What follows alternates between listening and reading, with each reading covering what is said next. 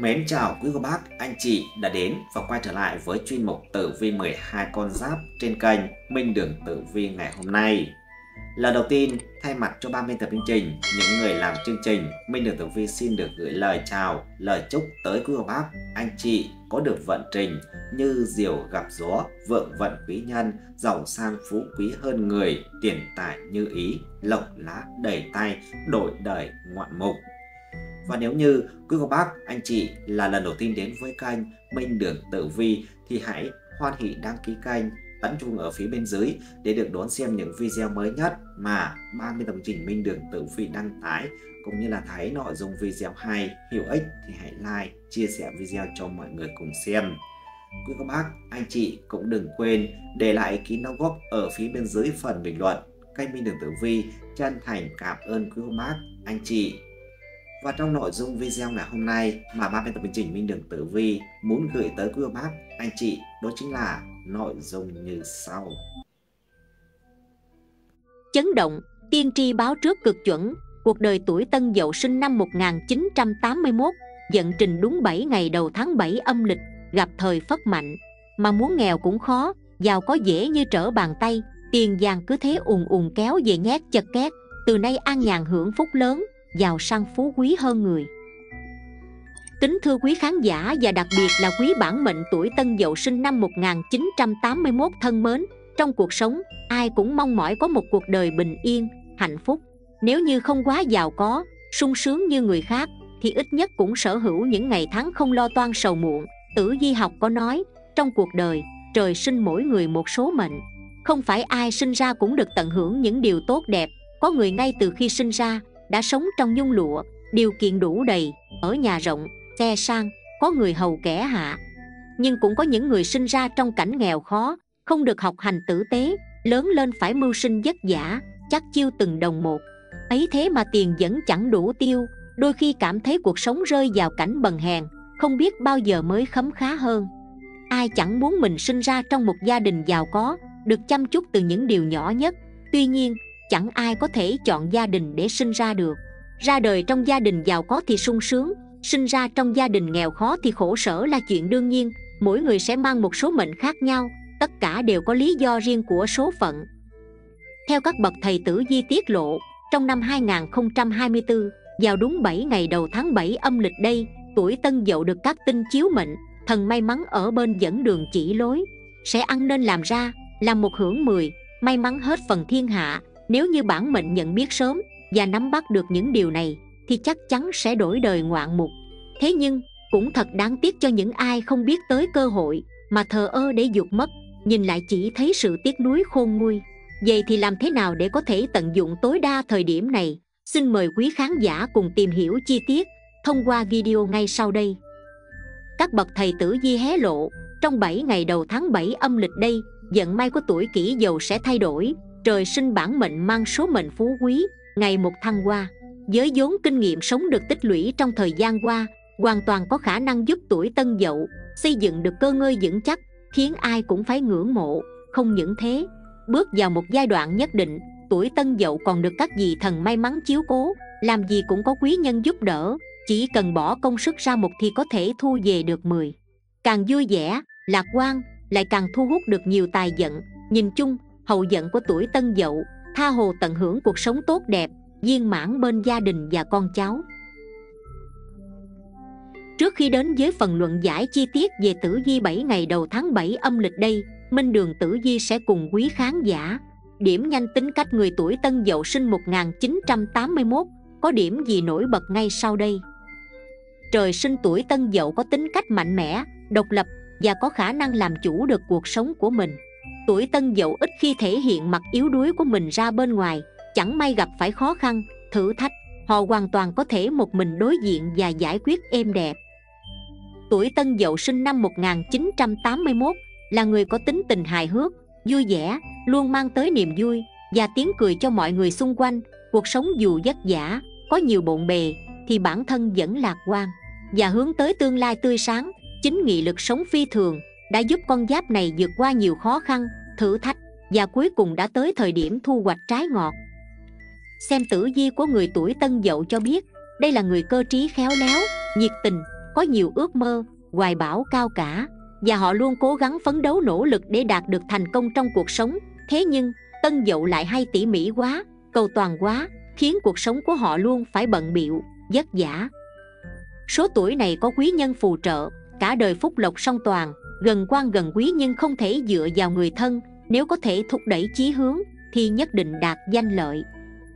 Tuổi tân dậu sinh vào mùa xuân, mùa hạ, sẽ làm rạng rỡ tổ tông. Người sinh mùa đông, mùa thu, có tài giận hanh thông, nhưng hay lo sợ không đâu. Tuổi già sung túc, yên tâm hưởng lạc. Lục thập qua giáp của tuổi tân dậu là thạch lực mộc. Tuổi trẻ phải bôn ba, vì không có chỗ dựa, nhưng luôn được thần phật bảo hộ bình an, hậu giận phát đạt người tuổi này nếu có chí hướng thì sẽ tốt hơn, vì mưu lược biết tính toán, lại có số mệnh tương sinh hòa hợp, làm ăn thịnh đạt. Nếu không có chí hướng thì chỉ bình bình qua ngày, cơm no áo ấm. Không phải dư giả trong cuộc sống, tân dậu nổi tiếng là những người sống rất thẳng thắn và kiên định, có lập trường riêng. Bởi vậy mà tuổi tân dậu được nhiều người ngưỡng mộ, kính nể. Người tuổi tân dậu khi làm việc rất chăm chỉ, cẩn thận, chu toàn, họ có thể đảm nhiệm nhiều vai trò vị trí khác nhau và luôn hoàn thành công việc một cách xuất sắc. Tuổi tân dậu thường là những người có tầm quan trọng, ảnh hưởng lớn đối với đám đông, cộng đồng, mọi lời nói. Hành động của họ đều được người khác tán thưởng, hưởng ứng. Tính cách của con giáp này thích động chứ không thích tĩnh. Họ thích đi chơi đến những chỗ náo nhiệt và làm quen với những người bạn mới. Họ biết cách đối nhân xử thế, biết cách để lấy được lòng tin của đối phương, mở rộng mối quan hệ của mình, làm lợi cho công việc cũng như cuộc sống sau này. Trong cuộc sống, tuổi tân dậu được biết đến là con giáp có nhiều ước mơ, hoài bão cao cả, và họ luôn cố gắng phấn đấu, nỗ lực để đạt được quyền lực, địa vị vững chắc trong cuộc sống. Họ nổi tiếng là những người sống rất thẳng thắn và kiên định, có lập trường riêng. Tuổi kỷ dậu đề cao lòng tự trọng và có cái tôi khá lớn. Bất kỳ ai xúc phạm đến danh dự của mình, họ đều sẽ không để yên, mà luôn phải nói cho ra lẽ, họ hài hước luôn tạo ra bầu không khí thoải mái, vui vẻ cho người khác. Nhưng đôi lúc chỉ dậu vô tình tự làm buồn chính mình, đối với họ, không gì quan trọng bằng gia đình. Vì vậy, kỷ dậu dành cả đời để xây dựng một mái ấm hạnh phúc, yêu thương, những lúc mệt mỏi, áp lực, thì gia đình chính là nguồn động lực, giúp họ lấy lại thăng bằng và tiếp thêm sức mạnh để tiến lên phía trước. Nhờ vậy, mà dù khó khăn, nhưng tuổi kỷ dậu lại gặp được quý nhân phù trợ, giúp đỡ và vượt qua tất cả. Những người này có duyên trong lĩnh vực kinh doanh, buôn bán, nếu có sự cố gắng, sẽ đạt được nhiều thành công. Người tuổi kỷ dậu mang mệnh phú quý, ở hậu giận, càng về già sẽ càng sung túc. Dù trong việc làm có gặp khổ sở, vất vả, nhưng nhờ sự nhẫn nại, nỗ lực kiên trì đến cùng, mà tự tay gây dựng thành công từ lực mà tạo nên thành quả, đạt được vô số thành tựu đáng trân trọng. Tuy lâu, nhưng sẽ rất bền vững ỷ dậu cũng phải chịu cảnh đàn áp, chèn ép của tiểu nhân trong công việc, đôi khi trục trặc chuyện tiền nông đôi khi còn dính họa thị phi, khiến cuộc đời rơi vào trầm luân bể khổ. Tuy nhiên, số mệnh đã sắp đặt, thì về sau họ rồi cũng sẽ tìm được sự giàu sang, quyền thế của mình, nhờ có phúc dày, mệnh lớn, mà đến một thời điểm khó khăn nhất đời người. Khi mà mọi thứ bế tắc đường cùng, những tưởng sẽ chấm hết, thì bất ngờ tân dậu sẽ bùng nổ tài lộc, gặp thời đổi giận mà phất lên một cách rực rỡ, khiến chính họ cũng chẳng thể ngờ. Có ngày mình lại đổi đời nhanh như vậy, sự nghiệp thăng hoa, tài lộc dồi dào. Vậy nên, dù hiện tại có thế nào, tân dậu sinh 1981 hãy tích cực tiến lên nhé. Tiếp theo chương trình ngày hôm nay, minh đường tử di xin mời quý khán giả cùng đến với phần luận giải nội dung chi tiết về các phương diện chính của cuộc sống cho con giáp tuổi Tân Dậu sinh năm 1981 trong 7 ngày đầu tháng 7 âm lịch đây, dẫn trình cụ thể như sau. Xét về phương diện tài lộc Tài lộc của tuổi Tân Dậu có sự tăng tiến khi bước sang 7 ngày đầu tháng 7 âm lịch đây, không chỉ khoản thu chính, con giáp này còn có thêm thu nhập từ những khoản thu phụ, bán hợp thái tuế báo hiệu. Bản mệnh nhận được nhiều sự hậu thuẫn trong công việc, nhờ vậy bạn có thể phát huy một cách cao độ giành lấy những gì xứng đáng trong khi đó người làm kinh doanh cũng thu về nhiều lợi nhuận. Nhờ đầu óc tính toán tài tình của mình, cơ hội hợp tác làm ăn trong tháng khá nhiều, ra ngoài có quý nhân trợ giúp, nên giảm bớt rất nhiều khó khăn so với việc một mình mò mẫm. Có điều, việc dù có thuận lợi đến mấy thì cũng chớ coi thường, vì những rắc rối có thể xảy ra bất cứ lúc nào. Tốt nhất, hãy luôn kiểm tra mọi việc đã làm thật kỹ càng. Tránh sai sót không đáng có, phải dùng tiền để sửa chữa sai lầm, nhưng lưu ý cầu tài cũng cần phải có lộ trình nhất định, bản mệnh chớ nóng dội mà đi theo con đường không chính đáng. Xu hướng bằng cách gì để làm giàu đi nữa? Nếu bạn đi theo hướng làm ăn chính đáng, thì ắt sẽ thu về lợi nhuận cao. Thêm nữa, cũng bởi con giáp này biết cân đối lại kế hoạch tài chính của mình. Tránh được những khoản chi tiêu không cần thiết.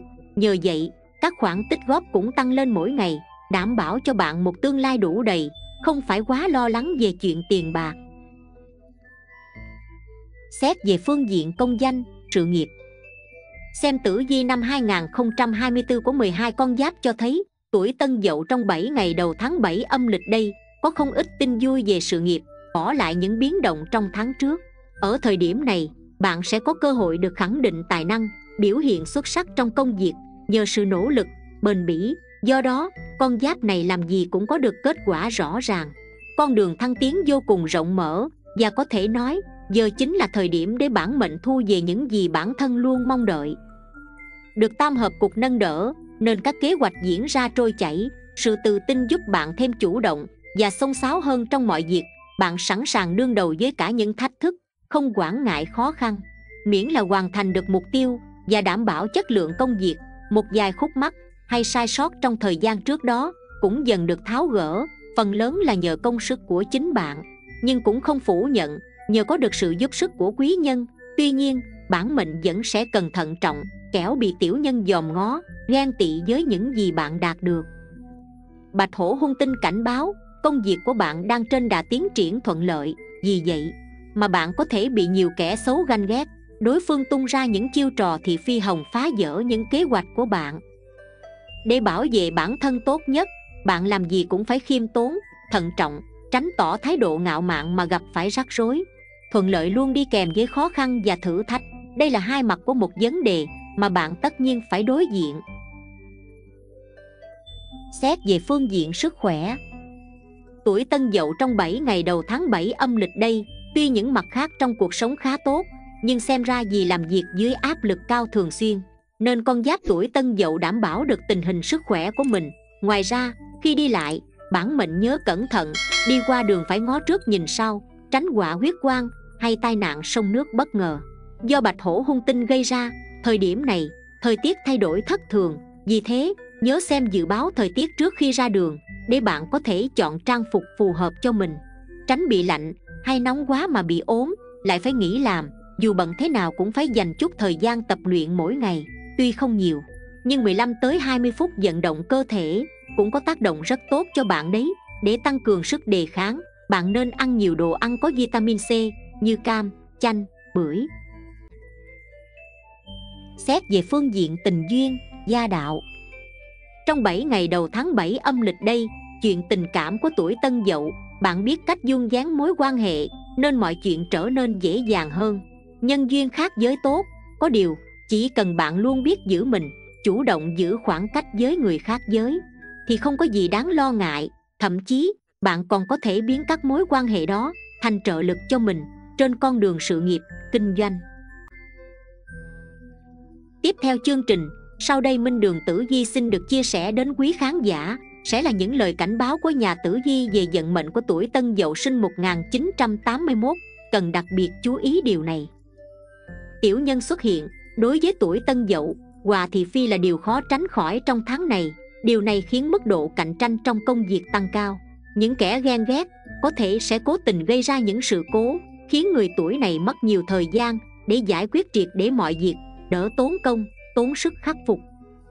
Sức khỏe suy nhược, thể lực của bản mệnh có dấu hiệu suy giảm, dễ mắc các bệnh giặc nhất là những bệnh do thay đổi thời tiết như cảm sốt, o. Ngoài ra, bạn cũng cần chú ý tới quả huyết quang, đồng chạm dao kéo, mổ xẻ, cần hết sức thận trọng khi đi lại, nhất là xuất hành xa nữ mệnh cần chú ý các bệnh phụ khoa.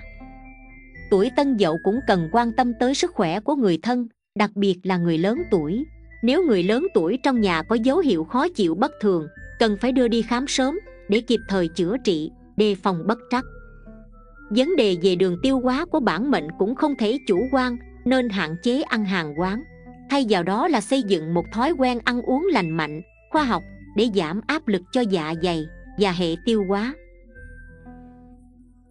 và ngay bây giờ, xin mời quý khán giả hãy cùng minh đường tử vi đi vào luận giải nội dung chi tiết, theo từng tháng sinh âm lịch may mắn của tuổi Tân Dậu sinh 1981 cụ thể vận trình như sau. Vận mệnh của người tuổi Tân Dậu 1981 sinh vào tháng 1 âm lịch. Tháng 1 âm lịch, tức tháng Giêng, rơi vào tiết Tân Xuân, người này vẫn chịu ảnh hưởng từ năm Quý Mão trước đó. Tâm tính mềm mỏng, trọng tình cảm, nhìn chung thì cuộc đời không phải trải qua đại hạn, tai nạn gì lớn có thể bình an cho đến cuối đời. Những năm đầu đời cuộc sống không được như ý, cần phải nỗ lực hơn nữa để cải thiện số mệnh, sức khỏe tốt, là người thật thà, chân thành, có thể dựa vào chính sức mình mà làm nên cơ nghiệp. Tuy nhiên, phải mất nhiều thời gian hơn những người có chỗ dựa vững vàng. Vận mệnh của người tuổi Tân Dậu 1981 sinh vào tháng 2 âm lịch Tháng 2 âm lịch là tiết kinh trập Người này gan dạ, dũng cảm, dám nghĩ, dám làm. Tuy nhiên, có đôi khi họ bị nhận xét là tự cao, tự đại Không xem ai ra gì. Nếu xét về tính xấu Thì tuổi tân dậu sinh tháng này Hay bắt nạt, ức hiếp người khác làm vui Thích nịnh bợ. Mọi chuyện đều muốn tốt cho mình song nhìn từ phương diện khác Đây là con người hướng ngoại Một khi đã đặt ra mục tiêu làm gì Thì sẽ cố gắng hết sức để đạt được điều mình muốn người này sống lạc quan vui vẻ nhân duyên tốt được nhiều người yêu quý và giúp đỡ. Người này có sự nhạy bén mà không phải ai cũng có được họ có trực giác và khả năng phán đoán rất chuẩn là vũ khí tốt để đi tới thành công được quý nhân phù trợ. Con đường phía trước hanh thông thuận lợi hơn gấp nhiều lần. Vận mệnh người tuổi Tân Dậu 1981 sinh vào tháng 3 âm lịch.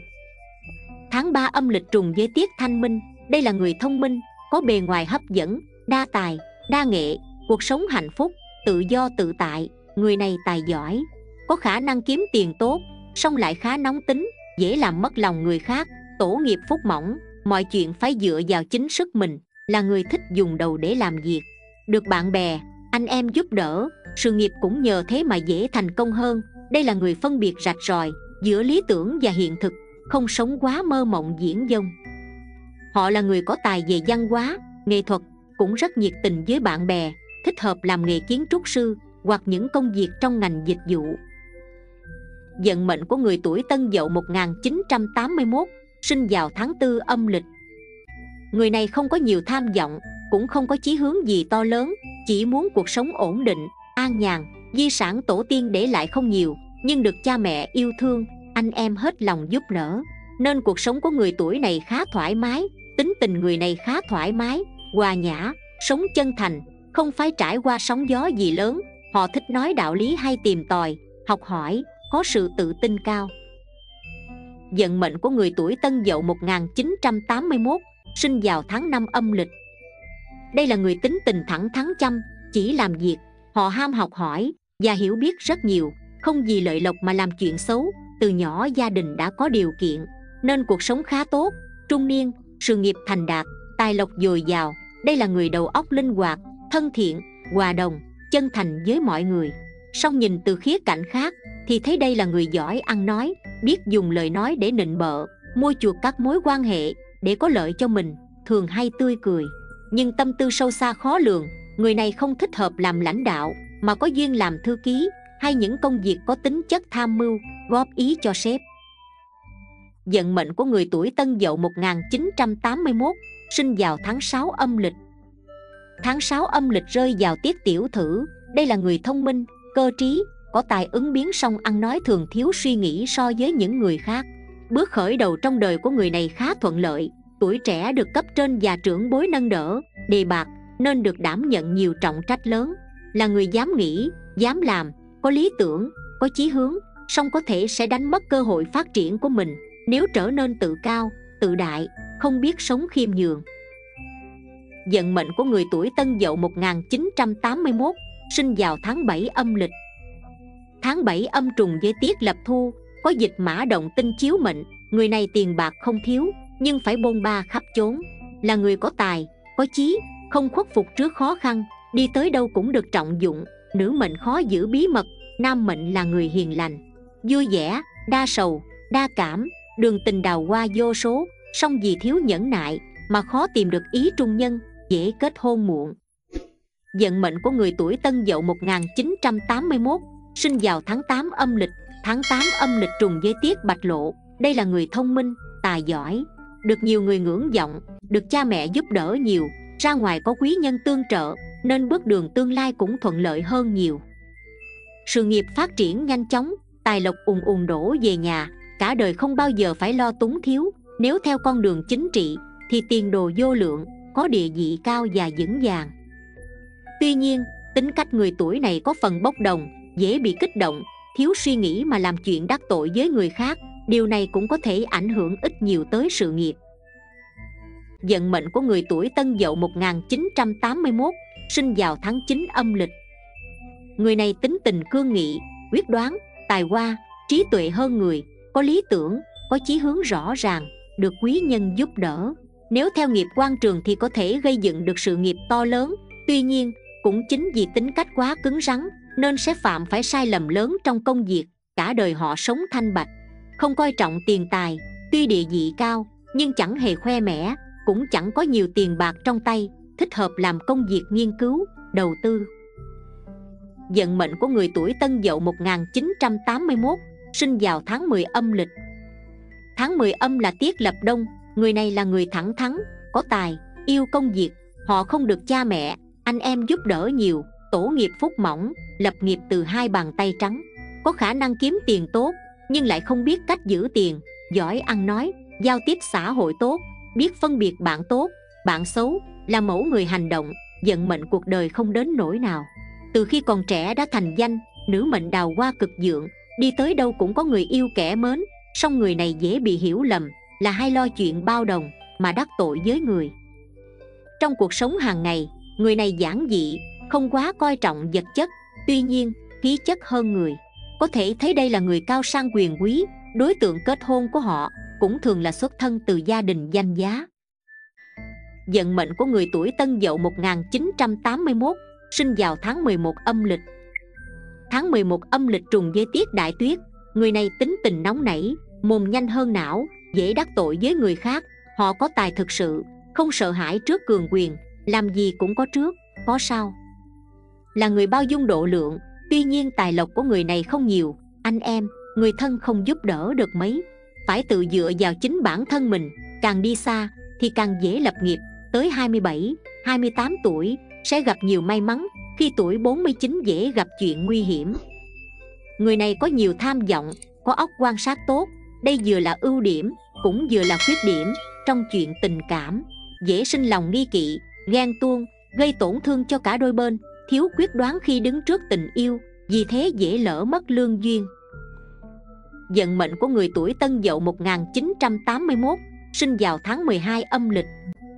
Tháng 12 âm lịch, tức tháng chạp, là tiết tiểu hàng vận mệnh của người này vinh hoa phú quý, hưởng hết mọi hạnh phúc trên đời. Cha mẹ nâng đỡ. Quý nhân phù trợ. Trong gia đình ai ai cũng xuất sắc. Vì thế mà người này không cần phải quá vất vả, cũng có được những gì mình muốn. Tuy nhiên, không phải vì thế mà người này ỷ lại. Họ vẫn đạt được nhiều thành tựu trong sự nghiệp của mình. Chưa tới 50 tuổi đã gian danh bốn bể, tài lộc đầy nhà. Quý vị thân mến, quan niệm của dân gian tháng 7 âm lịch hàng năm được xem là tháng cô hồn. Người xưa quan niệm đây là tháng của ma quỷ đặc biệt là rằm tháng 7 được xem là ngày xá tội dông nhân cần tránh nhiều điều để không bị xui xẻo. Vậy nguồn gốc tháng cô hồn bắt nguồn từ đâu và tháng cô hồn phải kiêng những gì theo phong tục? Ở Trung Quốc, nguồn gốc của tháng 7 âm lịch, tháng cô hồn bắt nguồn từ việc Ngọc Hoàng cho Diêm Dương mở cửa quỷ môn quan vào ngày 2 tháng 7 hàng năm để ma đói quỷ đói được trở lại trần gian rồi đến rằm lại quay về. Chính vì thế, theo tục lệ dân gian, người trần gian phải cúng cháo, gạo, muối cho ma quỷ đói để ma quỷ không quấy nhiễu cuộc sống thường ngày. Hàng năm, người dân Trung Quốc tiến hành cúng cô hồn vào ngày 14 tháng 7 âm lịch. Ở Việt Nam, theo dân gian, người Việt cúng tháng 7 âm lịch kéo dài một tháng, tùy thuộc vào từng gia đình, từng vùng miền khác nhau chứ không ấn định riêng một ngày nào. Người dân cũng quan niệm rằng tháng 7 âm lịch là tháng không đem lại may mắn nên hầu hết các công việc cưới hỏi, khởi công xây dựng, mua sắm, đi xa, đều tránh tháng 7 trong tháng 7 âm lịch hàng năm ngoài lễ cúng cô hồn còn có lễ du lan. Lễ du lan hay còn gọi là lễ báo hiếu một trong những ngày lễ chính của phật giáo. Lễ du lan gắn với tích về một kiền liên đệ tử của đức phật là một vị tôn giả tu luyện được nhiều phép thần thông. Theo lời phật dạy, các phật tử muốn báo hiếu cha mẹ nên cử hành lễ du lan để cầu siêu cho các đấng sinh thành và cầu phá địa ngục cho những dòng hồn. Tháng cô hồn và lễ du lan không chỉ phổ biến ở việt nam, trung quốc mà còn ở rất nhiều các quốc gia khác, đặc biệt là các nước á đông. Ở nhật bản, ngày lễ này được tổ chức vào ngày 7 tháng 7 âm lịch và cả ngày rằm tháng 7 ở đài loan ngày lễ này được kéo dài cả tháng nhưng thông thường thường tập trung vào ngày 15 của tháng với ba phần khác nhau.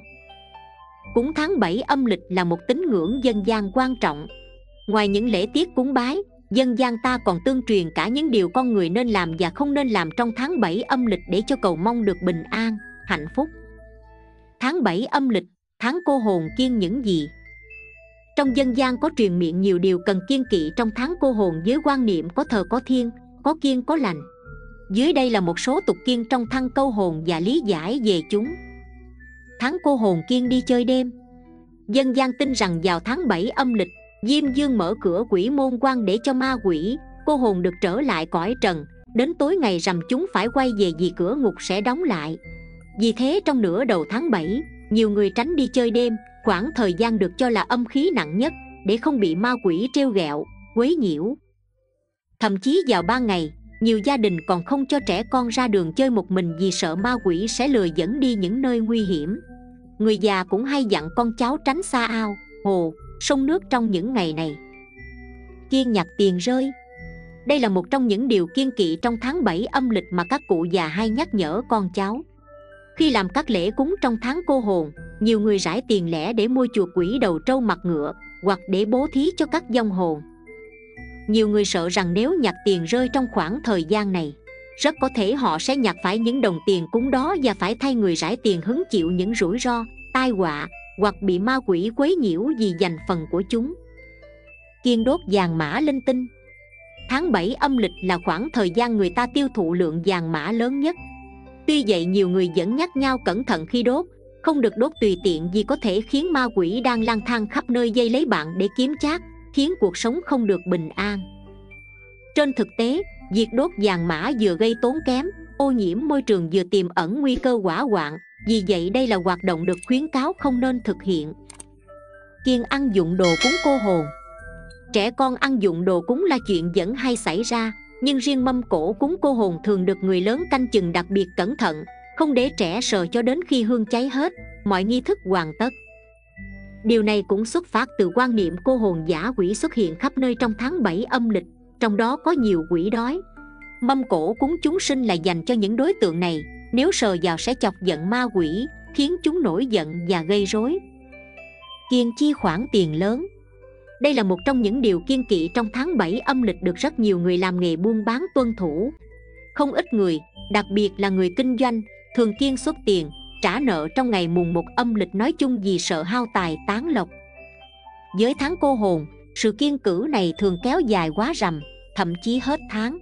Đương nhiên, hiếm ai sống cả tháng mà không phải chi tiền, người ta chỉ hạn chế xuất những món tiền lớn, hạn chế chi tiền trả nợ. Tuy nhiên, tất cả chỉ mang tính chất tham khảo, chiêm nghiệm và phụ thuộc vào quan niệm, niềm tin của mỗi người dân gian thường sống bằng kinh nghiệm nhằm đáp ứng tâm lý hướng đến sự an toàn của cá nhân và cộng đồng. Dù vậy, cái gì nhiều quá thì cũng không tốt. Suy cho cùng, dù hành lễ ở đâu quan trọng nhất vẫn là sự thành tâm. Con người thường xuyên làm việc thiện, giúp đỡ người khác thì dù trong hoàn cảnh nào, bản thân họ cũng cảm thấy an yên. Quý vị thân mến, để sống lâu trăm tuổi, hưởng phúc tuổi già bên con cháu thì quý mệnh chủ tuổi tân dậu ở độ tuổi 56 nên chú ý bốn điều sau đây. Một, tức giận. Tức giận là dùng sai lầm của người khác mà trừng phạt chính mình. Thật là khờ dại. Sai lầm của người khác hãy để họ tự gánh chịu lấy. Chúng ta không cần phải tức giận, thật sự là không đáng. Nếu như có người trêu chọc chúng ta, càng không cần phải tức giận, bởi vì khi tức giận nhất định sẽ làm tổn thương chính mình, không có chỗ nào tốt cả. Chi bằng hãy bình tĩnh một chút ung dung đối mặt. Như vậy chúng ta mới có thể càng ngày càng trở nên lý trí, càng ngày càng rộng lượng. 2. Phiền não. Con người sở dĩ phiền não, đa phần là do tự mình tạo ra. Chỉ cần đừng làm khó chính mình, thì phiền não cũng đã không nhiều như vậy. Làm người thì ai cũng sẽ mắc phải sai lầm. Nhưng phải học được cách xem nhẹ, cũng phải biết buông bỏ. Không nên cứ mãi dày dò bản thân. Phiền não đời người có rất nhiều, nhưng chỉ cần đừng tự đi tìm phiền não thì cuộc sống đã tốt đẹp lên rất nhiều rồi. Ngay khi phiền não hãy suy nghĩ nhiều đến những việc vui vẻ, an ủi chính mình, phiền não rồi cũng sẽ tự rời xa. 3. Lo lắng. Con người lo lắng chủ yếu là về tương lai của mình, Rồi đánh mất đi sự tự tin. Chuyện trong tương lai thật khó mà biết rõ được, Nhưng chỉ cần nắm chắc hiện tại. Tin rằng ngày mai cũng sẽ không đến nỗi nào. Nếu như cảm thấy lo lắng, Vậy nhất định phải biết cách cổ vũ chính mình. Tìm lại sự tự tin, Tăng thêm dũng khí mà đối mặt với tương lai. 4. Hối hận. Nhân sinh sẽ luôn có nhiều điều khiến chúng ta phải hối hận, Dù là ai cũng không thể nào tránh khỏi, Nhưng điều chúng ta phải làm Chính là thấu hiểu nó, Rồi từ từ bước qua. Việc gì đã cố hết sức rồi thì thôi, Hãy cứ để thuận theo tự nhiên. Chúng ta không cần phải lấy những chuyện cũ. Không đâu mà tự dằn vặt chính mình. Con người sống thì nên tiến về phía trước, Con đường là để bước đi. Chứ không phải để nằm nghỉ. Bất kể là đi sai đường hay bất lực thì cũng đều không nên hối hận. Làm người nhất định phải vượt qua được năm nhược điểm này. Tin rằng rồi bạn cũng phải bội phục chính mình. Dân, cảm ơn quý vị đã dành thời gian theo dõi và lắng nghe đến hết luận giải của minh đường tử di. Mong rằng những dự báo trên giúp quý vị thật nhiều niềm vui và thành công trong cuộc sống. Minh đường tử di xin chào tạm biệt và hẹn gặp lại quý vị trong những chương trình tiếp theo.